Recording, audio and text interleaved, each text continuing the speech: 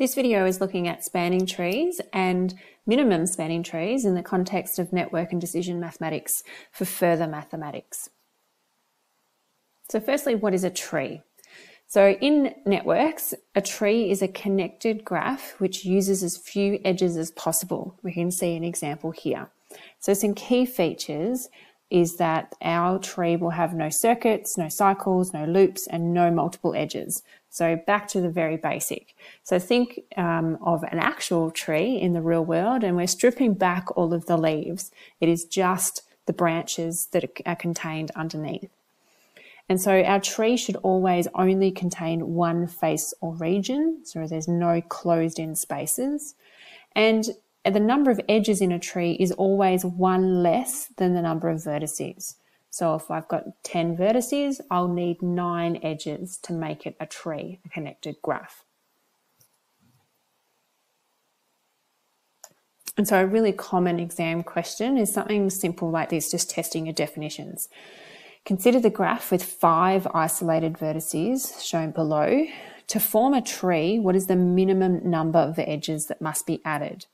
So as we said, it's always one less. So therefore it should be four edges given that we are starting with five vertices. And so to show that, our tree, remember, should have no loops, no closed in spaces. So I needed a total of four lines to connect in each of those vertices. So it's all connected, but there's no closed space. Our second definition, so building on that, is what we call a spanning tree. So a spanning tree is a subgraph that contains all of the vertices, so every vertex from the original graph, but is also a tree. So we must use vertices, um, all of the vertices, sorry, but we must use the edges from the original graph. So we can't use or make up new connections that didn't already exist. And note there might be multiple spanning trees for any one graph. So before we go and draw it out next to the diagram like we have here, it may be simply that we're highlighting some of those key features and drawing ourselves a possible spanning tree there. So you can see that's an additional example other than the ones that have already been drawn. And remember, start by counting how many vertices are there and therefore how many edges do I need? One less than the five vertices, so therefore I need four edges in my spanning tree. Often questions around spanning trees will be like this. So we've got a multiple choice question where we've got our original graph and we're asked which one of the following is not a spanning tree for the network above. And so firstly, we want to make sure they're all trees. In this case, all five options are technically trees we want to make sure that there isn't any additional information that wasn't in the original graph. So by what I mean by that is we wouldn't want to see an edge connecting vertex 2 to vertex 4. So we're going to check each of these and make sure that the information they're displaying was contained in the original. So with A, we had a connection from 1 to 6, yes. 5 to 6, yes. 6 to 3, yes. 3 to 4, yes, and 3 to 2. So we can say that A is a spanning tree. When we look at B, 1 to 6, yes, 6 to 3, yes, 2 to 3, yes, 3 to 4, yes. This edge 3 to 5 didn't exist in the original graph. So B is not a spanning tree, okay, because it's containing different information from the original. If we go through and check C, D, and E, we can see they are all containing the same information that was present in our original graph. So we can confidently say that B is our answer due to that additional edge there between 3 and 5. When we move into talking about weighted graphs, we then turn to what we call minimum spanning trees. So instead of there being many options to draw a spanning tree, when we're talking about a minimum spanning tree, that's where the total weight of all of the edges used to create that tree um, is the smallest possible.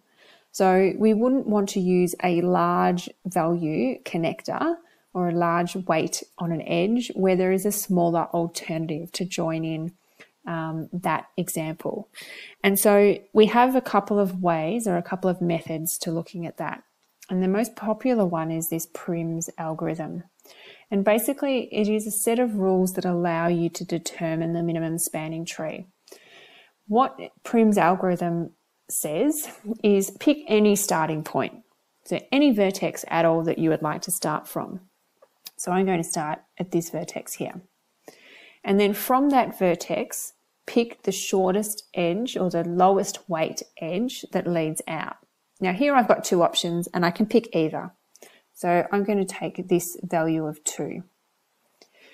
The next step is then from either end, so either vertex that is connected, pick the next smallest value. And so that's where I can now connect in this second 2 edge. Again, from the vertices that are connected in, pick the next smallest edge. And so that would be the 3.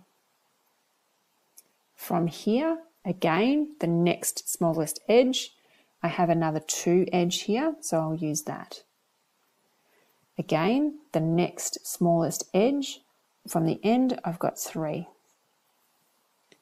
And I keep continuing with this process, making sure I do not ever close in, so I don't want to create a circuit but I'm constantly looking back and checking what's the next smallest value that I could use to connect in my vertices that I need to keep connecting in. And it may be that you get to a point. So now my next smallest number is 6. I've still got this one over here. So my next smallest number that won't create a closed space or a cycle or a circuit is the 7. And there I have my tree. I can check I had 1, 2, 3, 4, 5, 6, 7, 8, 9, 10, 11, 12, 13 vertices to begin with. And I check that I've only used, I should have only used 12 edges. So 1, 2, 3, 4, 5, 6, 7, 8, 9, 10, 11, 12. So that's good. Everything's connected, no closed spaces. The value of that minimum spanning tree would be the sum of all of those edges. Okay, so we would be adding up those values to get our minimum total. That would give us our total of 45. I tend to use a slightly different method and it gets us the same result. And I find it works better for me, but you need to use the method that works for you.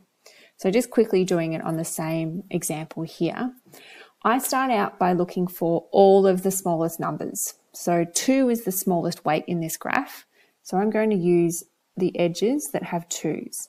And as long as they don't create a cycle or a closed shape for me, I'm happy to use all of them. Then I look at the next smallest number.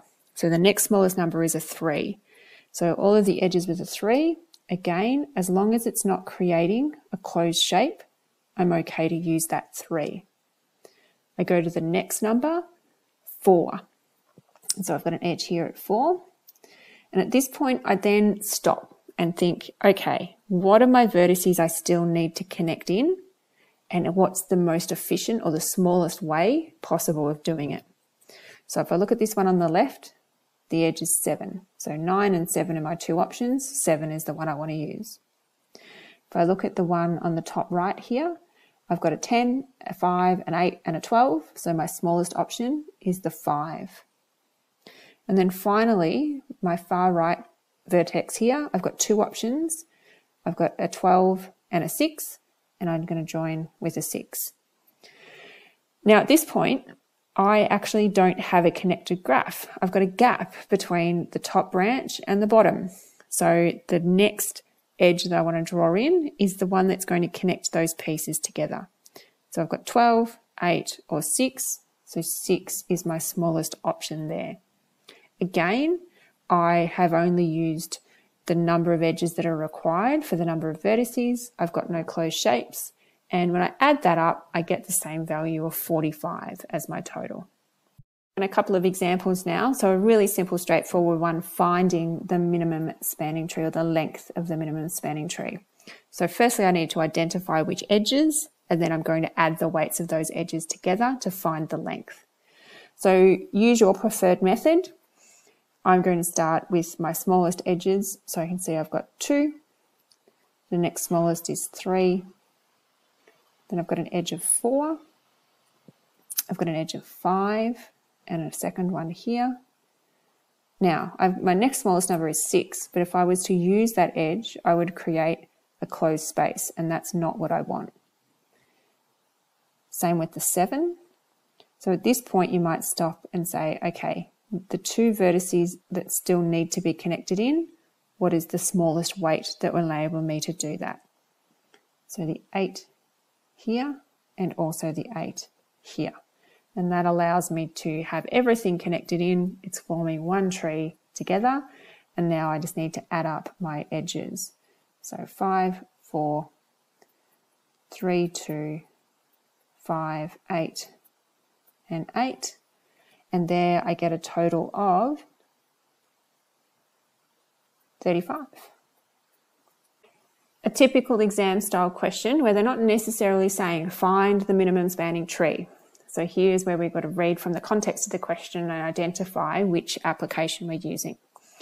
So here we have the total length of pipe that supplies water from the pump to eight locations on the farm is a minimum. This minimum length of pipe is laid along some of the edges in the network. On the diagram below, draw the minimum length of pipe that is needed to supply water to all locations on the farm. So here we need to connect everything to the pump. Okay, and so because it's a minimum, we're using our minimum spanning tree. So again, using your preferred method to work your way through creating this minimum tree and then finding the length by adding the weights together. So here I can see the smallest edge value is a 40. So I'm going to start by connecting my 40s. And then I look for my next smallest, so I have 50. I've got two of those. My next value, 60. My next value is 70. This one would create issues for me, but I've got a 70 out here on the left that I can use. And at this point, I have all of the vertices connected in, but I don't have a connection to the pump. So the smallest weight out of the two options, 90 and 80, would be the 80 that connects me to the pump. So I've got all of my vertices connected in, and you can check. I've got one, two, three, four, five, six, seven, eight, nine, if you include the pump and the house. So nine locations, and I've got one, two, three, four, five, six, seven, eight edges that have been used. Then to find the minimum uh, length, I'm adding those values together. So 70, 40, 50, 40, 60, 40, 50, and 80. And altogether, I get 430 as my length. The final question here is moving on from just simply finding the minimum spanning tree. So this one, a minimal spanning tree for the network includes the two edges with weightings X and Y. So on our diagram here, we've got one edge with X and one edge with Y. So they're telling us that's included in the minimum spanning tree. The length of the minimal spanning tree is 19. So we know the total. So now that we know those two edges are included, we need to find the rest of the edges that, are, that would be included in our spanning tree and then also work out then what must X and Y be? What must the values be? So let's start with our preferred method. So I'm going to include edge one, going to include two, I'm going to include the three, and then the only other value or vertex I have to join in is this bottom right hand side, and five is the smallest value there. So at the moment, my values, I've got 3, 2, 1, 5, x and y, and I've been told that that will equal 19. So here, what have I got? 11, so x and y, 19 minus 11 must equal 8. So out of the options, I can say, well, it can't be B because 2 and 5 is 7. Can't be D because 4 and 5 is 9. And it can't be E. 5 and 6 is 11. So I need X and Y to equal 8. Now, if X was 1, I would definitely have used it in my spanning tree. If Y was 7, so if Y was 7, you need to ask yourself, would you have included it? I'm saying I wouldn't because the way to connect in this vertex on the left, I could connect it in using a weight of 6 and that would give me a lower total overall.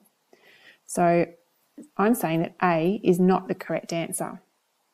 Whereas if X was 3 and Y was 5, I definitely would include those two edges to make my minimal spanning tree. So once you've worked out what options you can eliminate because they don't add up to what your tree needs to, 19, then it's about, well, if there are multiple options there, would you use those values if they were there to begin with and you had to create your spanning tree? And so that means that I'm saying C is the most correct answer here. Okay, that's it for uh, spanning trees and minimum spanning trees. Hope that was helpful.